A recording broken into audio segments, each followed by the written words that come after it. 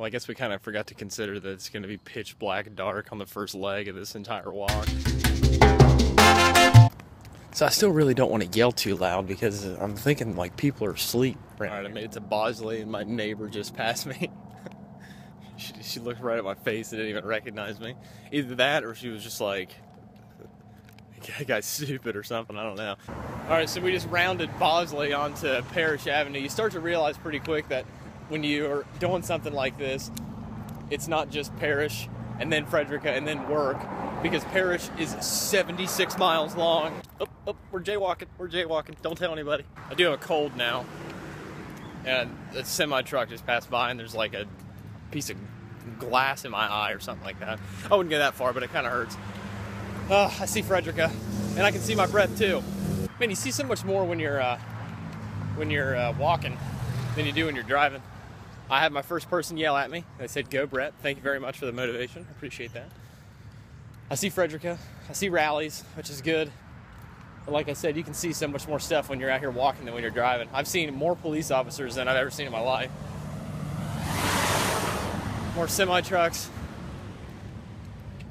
Motorcycles too. Motorcycles are hot today. Oh, look, some joggers. I will not be joining them. I flip flops on.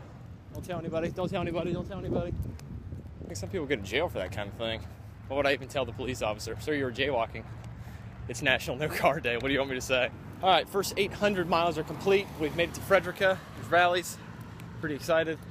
How am I supposed to get home? Hope I make it to work on time for Chad to give me a ride. Check my mirror. All right, we're looking good. It's about time for the old shades to go on the old face. Ooh, yeah. Now we're rolling. Now I'm ready to finish this up. Maybe I could take the bus. Is that allowed? Can I take the bus? Got people out here jogging past me and stuff. Where we at? Uh, Frederica and Dairy Queen. How about that? Tempting, tempting, tempting.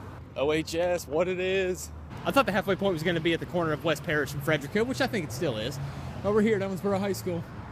We're still moving. Still moving.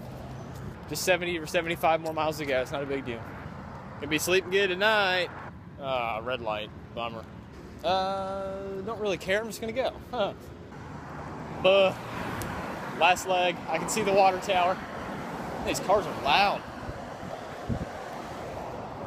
All right, where are we at here? We're at uh, almost by Chase Bank. Hey! All right, we're getting up to uh, Frederick and Sherm. That's what I was trying to think of. Frederick and Sherm. Got off the phone with Chad not too long ago. He was like, "This is the most you've ever moved in your life."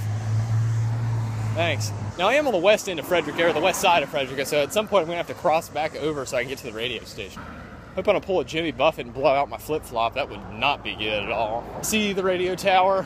Hello. Empty bottle of gin back there. all right, where should I cross? I have to cross regardless.